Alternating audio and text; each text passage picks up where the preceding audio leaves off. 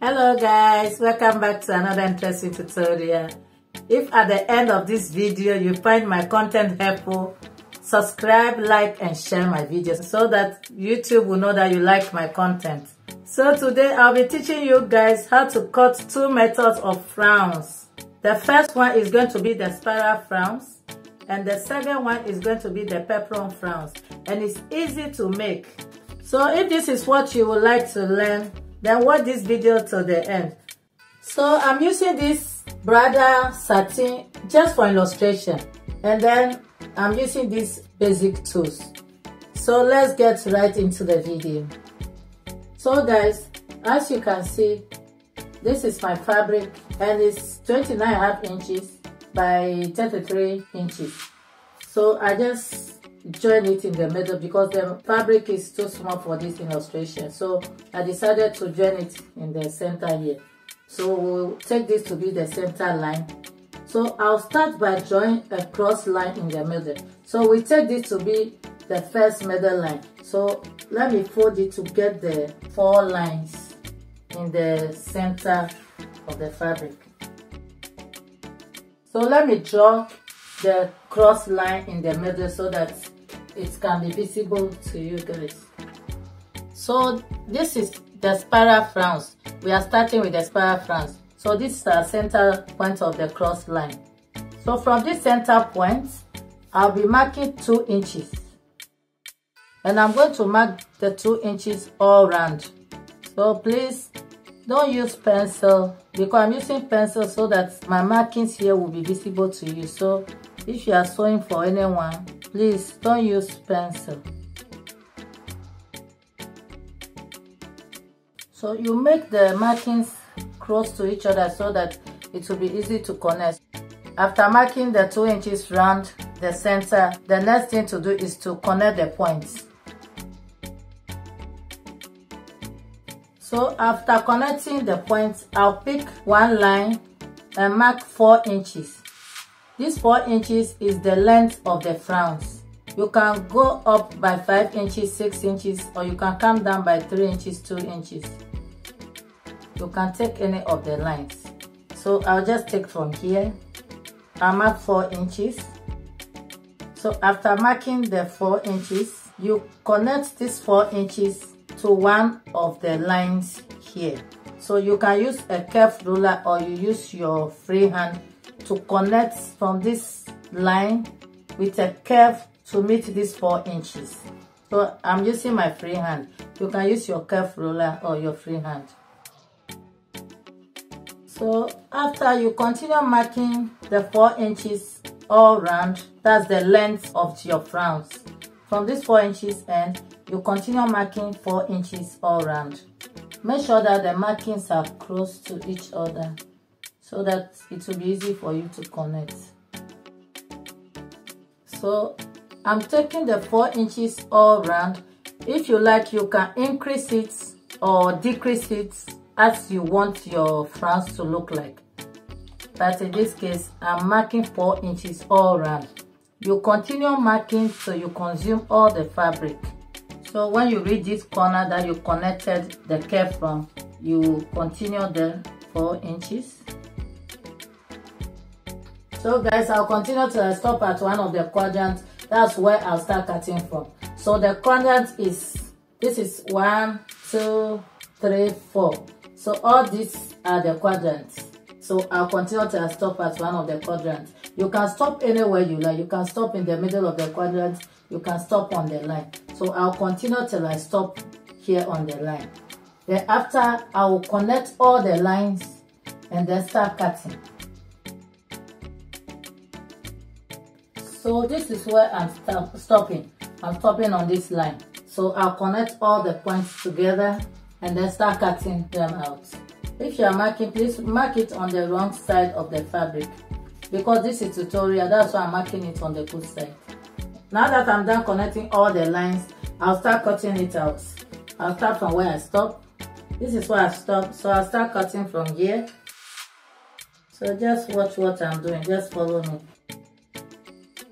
so what I'm cutting out now is the excess fabric before I start cutting out the main flounce.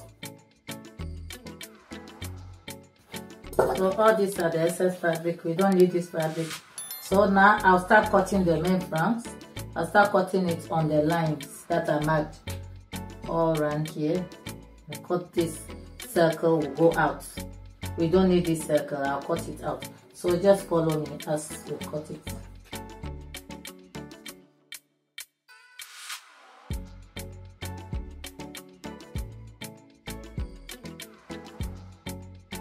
So in case you don't want this curved line you don't want your flounce to have this pointed edge you can stop here and then cut it straight so that it will be straight like this.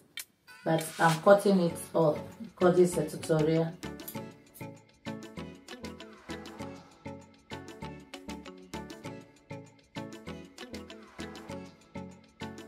so guys you see how our spiral flounce look like? See the pleats? Don't mind the joining if you want to cut it and sew your own you can cut it together with lining so that all these joinings will be covered. Or you don't cut it with any joining in the fabric. So i'll be folding it on the table to see how the flounce look like. So this is how you fold your flounce see it depends on if you are fixing it to your skirt or a dress start on where you want to fix it either the waist you start it like this you see you fold this like this and then you bring this one like this. Then you take the next and then you fold it under like this. You arrange it well so I'll continue till I fix it up.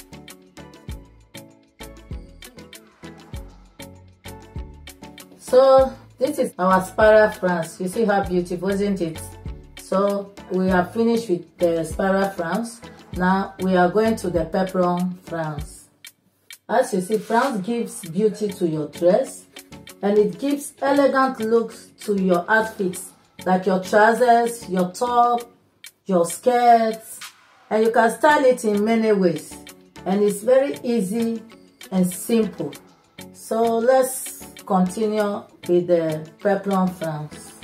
So with the peplum flounce, this is the good side of the fabric, this is the wrong side. So I'll be folding it on the wrong side.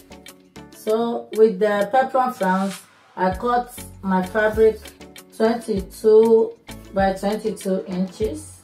You are going to be folding it like you are cutting 360 degree thread so I'm going to fold it in half like this and I'm going to fold it again in half. So I fold it into four. So the next thing to do now is to mark the radius of the circle. And I'm using 3 inches for the radius. You can use more than that. You can use four inches five inches but my fabric is not that big. That's why i'm taking three inches for the radius. And you start marking it from the uh, center point of your folded fabric. Now you're going to connect the lines.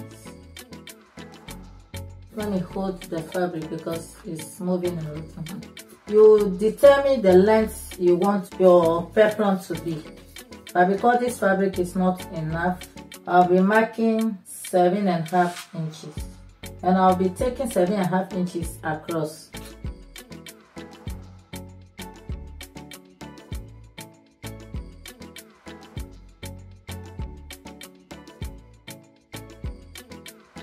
So this is it. So I'll be cutting the radius and then after I cut the length. So this is our peplum flounce so the next thing to do is to open it. When you open it now you get half a circle. So this is a full circle. And then we are going to take one line and then cut it. So we are opening one side now. So this is it. So you see how our peplum flounce look like the pleat is bouncing very nice so this is how it look so the next thing to do is to fold it on the table for you to see how it looks. You see, I don't have enough fabric, so it's not all that long. So let me just end it here. But if you cut it with a lining, you get the right side of the fabric all through. So this is our peplum flounce, looking very beautiful and very elegant. So this is it. So guys, we have come to the end of this tutorial.